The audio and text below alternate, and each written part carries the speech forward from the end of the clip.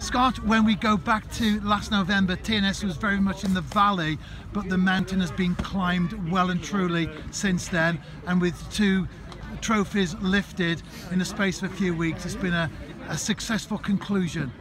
Bells, yeah, it's, it's, a nice fitting way to uh, to end the season. It's um, you know today we six minute goal, six seven minute goal, um, you know really good, helped us on our way, and um, I think it wasn't the best spectacle, end to end or, or quality football, but because we'd sort of got that two goal and then the three goal, I think it became made easier, and we didn't really need to go for that fourth, fifth goal, and uh, and that's the way it panned out.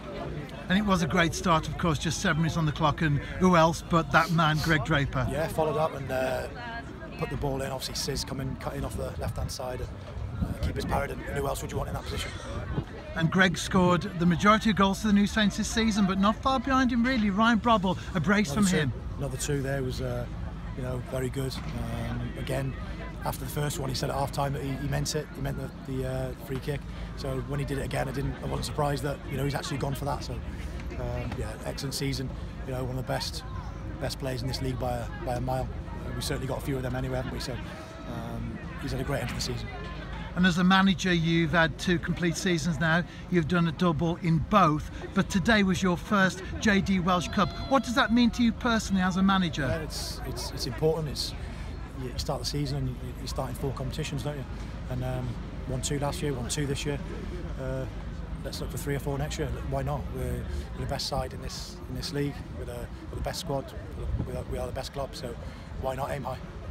It's been a long season. The players come back for training uh, in June, the first week of June. We finish now the first week of May. But with two trophies, has that been a successful season for you and the New Saints? Of course, yeah, it's successful. You, we've, we've, won the league again. Um, we've continued uh, to play attractive football, scored lots of goals. Missed out on the league by uh, 100 goals by one goal. Excellent defensive record again today, another clean sheet. So moving in the right direction. Well, Scott, congratulations on the victory today. And as this is our final post match interview of the season, I just want to thank you personally for your cooperation and willingness to face the camera, win, lose, or draw during 2018 2019. Thanks a lot, Rob. Thanks.